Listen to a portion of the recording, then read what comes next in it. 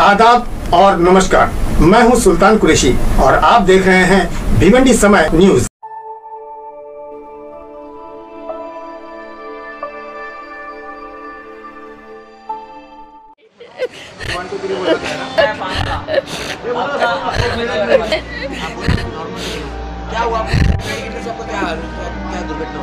दुर्घटना हुई इडली सांभर खाई, ऐसे निकल गया, तंबाकू ले झाड़ पे गिर गया, बच गई मैं। क्या कर कर कर और मेरी भाग गई। मेरे गाड़ी तो गया। मेरे कोई नहीं है। मेरे लड़का ने, आदमी ने, उन्नीस सौ चौरासी आदमी मर गया। बुढ़ा पर भी बेटा नहीं। एक बेटी है, उधर में चली गई। उसका भी आदमी मर गया कोरोना पे? गाड़ी टूट गई। मैं क्या कहूँ? किधर जाऊँ? मूंगफली बेचती हूँ, भाजी बेचती हूँ। और पेड़ के नीचे गाड़ी तुमको दिखता है। सब तोड़ ताड़ हुआ।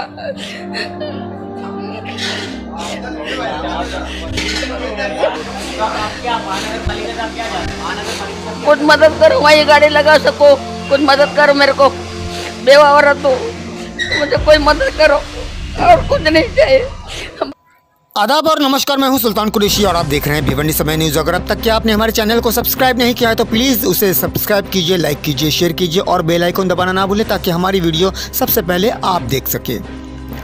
बारिश का मौसम मौसम शुरू हो चुका है और ऐसे में जर्जर बिल्डिंगें हो या जर्जर पेड़ हो, यहाँ का गिरना जो है वो मुमकिन है। इसीलिए आज हम आपको एक न्यूज़ बताते हैं पेड़ गिरने की। जी हाँ कल्याण रोड पे वाकई जो विजय सेल्स है, वहाँ पर एक बरगद का पेड़ था जो काफ़ी पुराना था। कहते हैं कि ये 60 साल पुराना पेड़ था और आज अचानक ये हवाओं, तेज़ हवाओं की वजह से वहाँ से गिर गया और इसके गिरने से कई बाइक वगैरह जो है इनकी चपेट में आ गई। साथ ही साथ एक गरीब मजबूर औरत जो वहाँ पर कुछ हाथ गाड़ी पर जो है वो कुछ बनाकर बेचा करती थी और अपना गुजर बसर किया करती थी। वो गाड़ी और वो छोटा सा झोपड़ा भी उसकी जद में आ गया जिससे काफ़ी नुकसान हुआ और वो बेचारी बेवा औरत वो तड़प तड़प कर रो रही थी और मदद के गुहार लगा रही थी कि कोई आकर उसकी मदद कर दे। हमने अपने चैनल के माध्यम से आपको उनकी तस्वीरें दिखाने की कोशिश की है।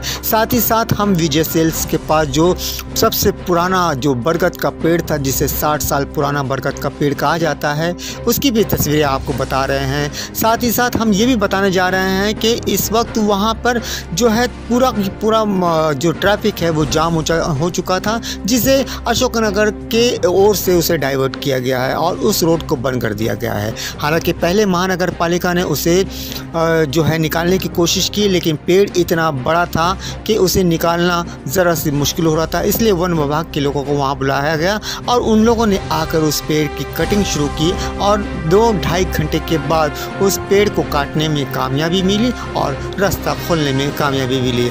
हालाँकि हम आपसे हमेशा अपने चैनल के माध्यम से ये गुजारिश करते आ रहे हैं कि आप ऐसी जगहों पर ना खड़े रहे।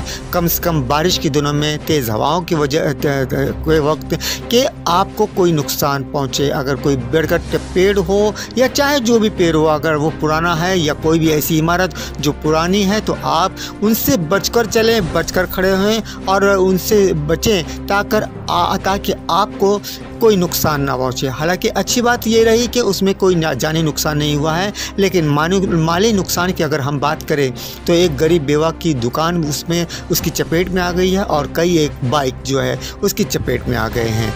आप देख रहे हैं भिवंडी समय न्यूज़। मैं अपने सहयोगी के साथ भिवंडी समय न्यूज़ से सुल्तान कुरैशी।